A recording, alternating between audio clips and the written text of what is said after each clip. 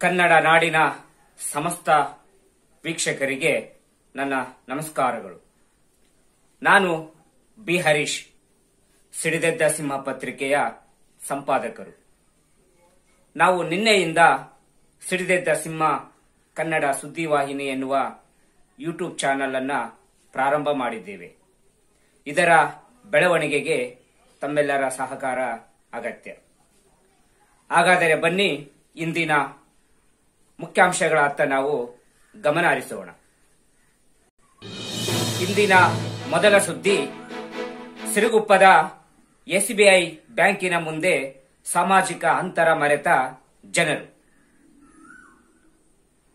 ಈ ಕೊರೋನಾ ಸಮಯದಲ್ಲಿ ಮಾಸ್ಕ್ ಧರಿಸುವುದು, ಸ್ಯಾನಿಟೈಸರ್ ಬಳಸುವುದು ಮತ್ತು ಸಾಮಾಜಿಕ ಅಂತರವನ್ನ ಕಾಪಾಡಿಕೊಳ್ಳುವುದು ಅತ್ಯಂತ ಅಗತ್ಯವಾಗಿದೆ. ಎಸ್ಎಂಎಸ್ ಎನ್ನುವಂತಹ ನಿಯಮವನ್ನು ಪ್ರತಿಯೊಬ್ಬರೂ ಕೂಡ ಕಡ್ಡಾಯವಾಗಿ ಪಾಲಿಸಲೇಬೇಕಾಗಿದೆ. ಆದರೆ ಸಿರುಗುಪ್ಪದ ಸ್ಟೇಟ್ ಬ್ಯಾಂಕ್ ಆಫ್ ಮೈಸೂರು ಬ್ಯಾಂಕಿನ ಮುಂದೆ ಇಂದು ಜನರು ನೂಕು ನುಗ್ಗಲೇ ಶುರುವಾಗಿತ್ತು. ಅಲ್ಲಿ ಯಾವುದೇ ಮಾಸ್ಕ್ಗಳನ್ನು ಧರಿಸದೆ ಜನರು ಗುಂಪು ಗುಂಪಾಗಿ ಸೇರಿದ್ದರು. ಯಾವುದೇ ಸಾಮಾಜಿಕ ಅಂತರ ಇರಲಿಲ್ಲ. ಸಾಮಾಜಿಕ ಅಂತರ ಅನ್ನುವುದು ಅಲ್ಲಿ ಮಂಗಮಾಯವಾಗಿತ್ತು. ಈ ರೀತಿ ಮುಂದುವರೆದರೆ ಈ ದೇಶದಿಂದ ಕೊರೋನಾವನ್ನ ಒಡೆದಾಡಿಸುವುದಾದರೂ ಹೇಗೆ? ಎಲ್ಲರೂ ಎಸ್ಎಂಎಸ್ ನಿಯಮಗಳನ್ನು ಪಾಲಿಸಬೇಕೆಂಬುದೇ ನಮ್ಮ ಕಳಕಳಿಯ ಮನವಿ. ನಮ್ಮ ಇಂದಿನ ಎರಡನೇ ಸುದ್ದಿ, ಖಾಸಗಿ ಶಾಲಾ ಕಾಲೇಜುಗಳಲ್ಲಿ ಕಾರ್ಯನಿರ್ವಹಿಸುತ್ತಿರುವ ಶಿಕ್ಷಕ ಮತ್ತು ಉಪನ್ಯಾಸಕರ ಗೋಳು ಕೇಳುವವರ್ಯಾರು. ವೀಕ್ಷಕರೇ ಬಹಳಷ್ಟು ದಿನಗಳಿಂದ ಶಿಕ್ಷಕರು ಮತ್ತು ಉಪನ್ಯಾಸಕರು ಕೆಲಸವಿಲ್ಲದೆ ಹಬ್ಬೆಪಾರಿಗಳಾಗಿ ಅಲಿತಾ ಇದ್ದಾರೆ. ಜೀವನ ನಿರ್ವಹಣೆಗೆ ಅನೇಕ ಕೆಲಸಗಳಲ್ಲಿ ತಮ್ಮನ್ನು ತೊಡಗಿಸಿಕೊಳ್ತಾ ಇದ್ದಾರೆ. ಕೆಲವು ವಿದ್ಯಾಸಂಸ್ಥೆಗಳು ಅವರ ಬೆನ್ನೆಲುಬಿಗೆ ನಿಂತರೆ ಅದು ಇನ್ನೂ ಸಾಕಾಗಿಲ್ಲ. ಅವರ ಜೀವನ ನಿರ್ವಹಣೆ ತುಂಬ ಕಷ್ಟವಾಗಿದೆ. ಹೀಗಾಗಿ ಸರ್ಕಾರವೇ ಅವರಿಗೆ ವಿಶೇಷ ಪ್ಯಾಕೇಜ್ ಅನ್ನ ಘೋಷಣೆ ಮಾಡಬೇಕೆಂಬುದು ಎಲ್ಲ ಶಿಕ್ಷಕರ ಆಗ್ರಹವಾಗಿದೆ. ನಮ್ಮ ಮುಂದಿನ ಸುದ್ದಿ, ಲಾಕ್ಡೌನ್ ಮುಂದುವರಿಸುವ ಬಗ್ಗೆ ಸಚಿವರುಗಳ ಅಭಿಪ್ರಾಯ. ಈಗಾಗಲೇ ಮೇ ಇಪ್ಪತ್ನಾಲ್ಕರವರೆಗೆ ಲಾಕ್ಡೌನ್ ಘೋಷಣೆಯಾಗಿದೆ.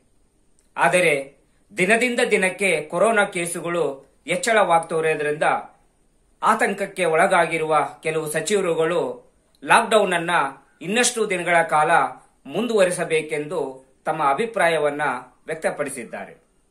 ಹಾಗಾದರೆ ಬನ್ನಿ, ಯಾವ ಸಚಿವರು ಏನು ಹೇಳಿದ್ದಾರೆ ನೋಡೋಣ. ನೋಡ್ತಾ ಇದ್ದಾರೆ, ಇಪ್ಪತ್ತೆರಡು ಸಾವಿರ ಇದ್ದಿದ್ದು, ಈಗ ಹದಿನೈದು ಸಾವಿರಕ್ಕೆ ಬಂದಿದೆ. ಸೊ ಇನ್ನಷ್ಟು ದಿನ ಲಾಕ್ಡೌನ್ ಆದರೆ ಇನ್ನಷ್ಟು ಕಡಿಮೆ ಆಗುತ್ತೆ. ಸೊ ಇದನ್ನು ಮುಂದುವರಿಸೋದ್ರ ಬಗ್ಗೆ ನಾನು ನನ್ನ ಅಭಿಪ್ರಾಯವನ್ನು ಸ್ಪಷ್ಟವಾಗಿ ಮುಖ್ಯಮಂತ್ರಿಗಳಿಗೆ ಹೇಳ್ತೀನಿ.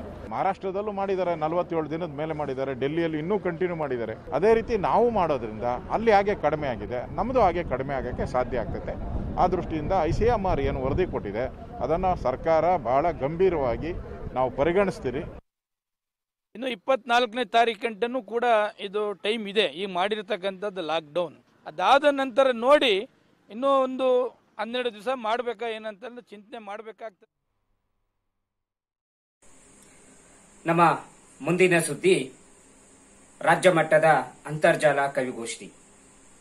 ಬಳ್ಳಾರಿ ಜಿಲ್ಲಾ ಬರಹಗಾರರ ವೇದಿಕೆ ವತಿಯಿಂದ ವಿಶ್ವ ತಾಯಂದಿರ ದಿನಾಚರಣೆಯ ಅಂಗವಾಗಿ ಇಂದು ರಾಜ್ಯ ಮಟ್ಟದ ಅಂತರ್ಜಾಲ ಕವಿಗೋಷ್ಠಿ ನಡೆಯಿತು.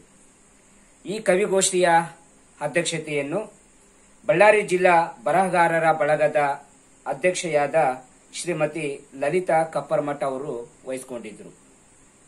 ಕಾರ್ಯಕ್ರಮದಲ್ಲಿ ಮಾನ್ಯ ಶ್ರೀ ಮಧುನಾಯಕ್ ಲಂಬಾಣಿ, ಕರ್ನಾಟಕ ರಾಜ್ಯ ಬರಹಗಾರರ ಬಳಗದ ಸಂಸ್ಥಾಪಕ ಅಧ್ಯಕ್ಷರು ಹಾಗೂ ಸಿರುಗುಪ್ಪ ತಾಲೂಕು ಘಟಕದ ಅಧ್ಯಕ್ಷರಾದ ಡಾಕ್ಟರ್ ಕುರುವಳ್ಳಿ ತಿಮ್ಮಯ್ಯನವರು ಮುಖ್ಯ ಅತಿಥಿಗಳಾಗಿ ಭಾಗವಹಿಸಿದ್ದರು ಕಾರ್ಯಕ್ರಮವನ್ನ ಶ್ರೀಮಾನ್ಯ ವೆಂಕಟೇಶ್ ಬರಿಗಾರಿವರು ಪ್ರಾರ್ಥನೆಯ ಮೂಲಕ ಆರಂಭ ಮಾಡಿದ್ರು.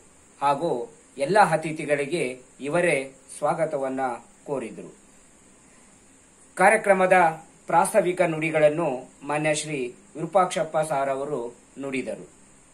ಕಾರ್ಯಕ್ರಮದ ಆಶಯ ನುಡಿಗಳನ್ನು ಮಾನ್ಯ ಶ್ರೀ ಶ್ರೀಶೈಲ ಬಡಿಗರ್ ಇವರು ನೆರವೇರಿಸಿದರು.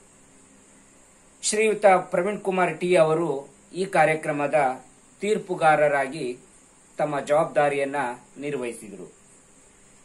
ಕಾರ್ಯಕ್ರಮದ ನಿರ್ವಹಣೆಯನ್ನ ಶ್ರೀಯುತ ಜಿಎಂ ವೈ ರವಿತೇಜ ಅವರು ನೆರವೇರಿಸಿದರು. ಕಾರ್ಯಕ್ರಮದ ಅಂತಿಮ ಘಟ್ಟ ವಂದನಾರ್ಪಣೆಯನ್ನ ಶ್ರೀಮತಿ ಕಲಾಶ್ರೀ ಹಾದಿಮನಿ ಅವರು ನೆರವೇರಿಸಿದರು. ಈ ಕಾರ್ಯಕ್ರಮದ ಸಂಪೂರ್ಣ ನಿರೂಪಣಾ ಜವಾಬ್ದಾರಿಯನ್ನ ಪ್ರಾಂಶುಪಾಲರಾದ ಶ್ರೀಯುತ ಬಿ ಹರೀಶ್ ರವರು ಯಶಸ್ವಿಯಾಗಿ ನೆರವೇರಿಸಿದರು. ಈ ಒಂದು ಕಾರ್ಯಕ್ರಮದಲ್ಲಿ ಸುಮಾರು ನಲವತ್ತಕ್ಕಿಂತ ಹೆಚ್ಚು ಕವಿಗಳು ಭಾಗವಹಿಸಿ ಕಾರ್ಯಕ್ರಮದ ಯಶಸ್ವಿಗೆ ಸಹಕಾರ ನೀಡಿದರು. ಪ್ರಿಯ ವೀಕ್ಷಕರೇ, ಸಿರುಗುಪ್ಪ ತಾಲೂಕಿನ ಹಿಂದಿನ ಕರೋನಾ ಕೇಸುಗಳ ಸಂಖ್ಯೆ ತೊಂಬತ್ಮೂರು ಇದೆ. ಇದು ದಿನದಿಂದ ದಿನಕ್ಕೆ ಹೆಚ್ಚುತ್ತಿದೆ. ಹಾಗಾಗಿ ಮನೆಯಲ್ಲೇ ಇರಿ ಆರೋಗ್ಯವಾಗಿರಿ. ಧನ್ಯವಾದಗಳು.